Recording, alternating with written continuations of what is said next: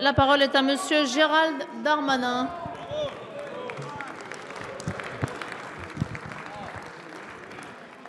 Madame la Présidente,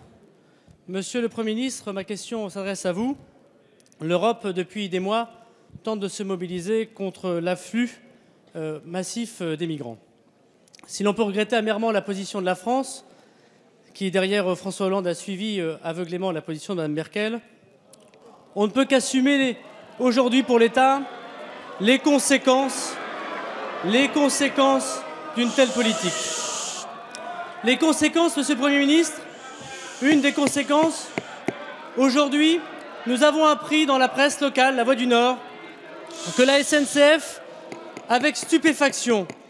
devant le grand nombre de migrants dans les trains, permettait de ne pas contrôler les migrants, ou pire, de les laisser voyager à zéro euro, de préférence en première classe, en seconde classe, monsieur le, monsieur le Premier ministre. Non seulement la SNCF ne dément pas, mais en plus, monsieur le Premier ministre, elle a l'air d'accepter cette décision ahurissante. Comment accepter, monsieur le Premier ministre, que des Français ou des étrangers en situation régulière payent normalement le train, alors que des migrants ou des clandestins puissent prendre les trains sans payer leur ticket Comment accepter, monsieur le Premier ministre, que le gouvernement qui contrôle l'entreprise publique SNCF ne soit pas informé ou pire cautionne cette politique de la part de cette grande entreprise publique? Cela revient ni plus ni moins de laisser comme message aller à Calais par le train, c'est gratuit. Alors, monsieur le Premier ministre, étiez-vous informé de cette politique de la SNCF Avez-vous cautionné cette politique de la SNCF Et sinon, allez-vous aujourd'hui demander au président de la SNCF de revenir sur cette ahurissante instruction? La parole est au, la parole est au Premier ministre.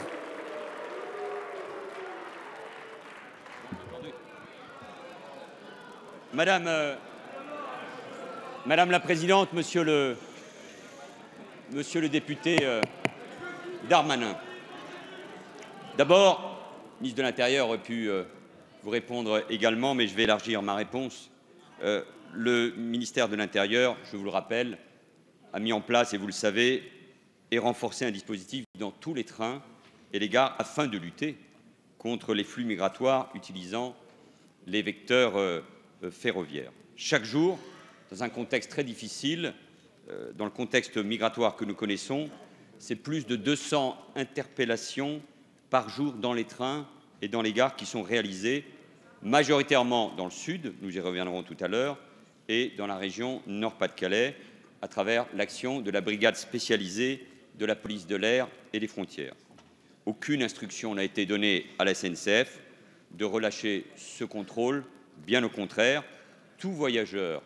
doit être muni d'un titre de transport et tout le monde est soumis à la même procédure de contrôle à bord des trains, migrants inclus, bien évidemment. Donc cette information n'a pas de sens et ne croyez pas tout ce qui se dit, Monsieur Darmanin, dans la presse. Deuxièmement,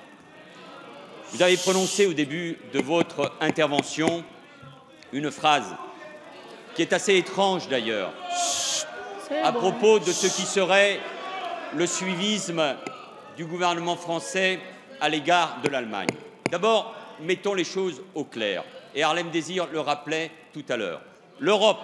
sur tous les sujets, puisque nous parlons d'Europe aujourd'hui, Madame la Présidente, sur l'euro ou sur le dossier des migrants, doit avancer, doit avancer grâce à l'engagement du couple franco-allemand grâce à l'engagement de la France et de l'Allemagne. Et ce sont les mêmes dans vos rangs, y compris vous, Monsieur Darmanin, qui vous donnez des leçons sur le plan économique sur ce que fait l'Allemagne en nous expliquant qu'il faudrait suivre l'Allemagne et qui nous accuserait maintenant sur les questions migratoires en vous trompant par ailleurs de je ne sais quel suivisme à l'égard de Madame Merkel. Que je sache, Monsieur Darmanin, Madame Merkel est comme vous, membre du même parti européen, le PPE. Alors mettez-vous d'accord avec le PPE et avec Madame Merkel avant de mettre en cause je ne sais quel gouvernement ici en France. Sur les questions de migrants, sur la crise des réfugiés, la force de la France, ça a été sa cohérence et sa constance depuis un an, grâce notamment au travail qui a été mené par le ministre de l'Intérieur, Et sur ce sujet-là, vous remarquez qu'en effet, même si nous comprenons ce qui peut se passer en Allemagne, nous avons adopté d'autres choix, une autre politique, un autre message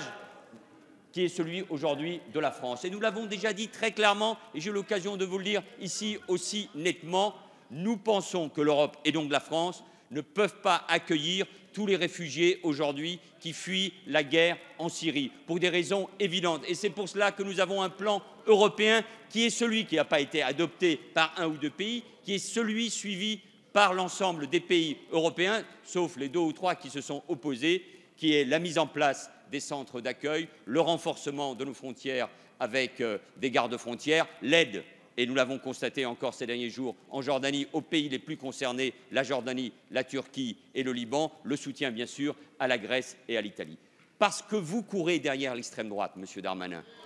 parce que vous courez derrière le Front National, parce que vous courez derrière Madame Le Pen, parce que, avec d'autres, vous courez derrière. On ne peut pas en même temps, Monsieur Darmanin, accuser à juste titre Madame Le Pen de ne pas avoir été à la hauteur, et le mot est faible, d'avoir interpellé, comme vous le savez, de quelle manière le président de la République et enfourché ici à l'Assemblée nationale ou sur le terrain dans le Nord-Pas-de-Calais les mêmes thèmes qui sont ceux de l'extrême droite, qui consistent en permanence à mettre le réfugié, l'immigré, en confondant au cœur du débat politique. Alors, Monsieur Darmanin, oui, le débat, puisqu'il s'agit bien de cela, nous l'avons bien compris, des régionales, plus que jamais, c'est une certaine conception de la République, des valeurs et de la manière de faire de la politique, notamment quand on gouverne et ceux qui courent derrière l'extrême droite.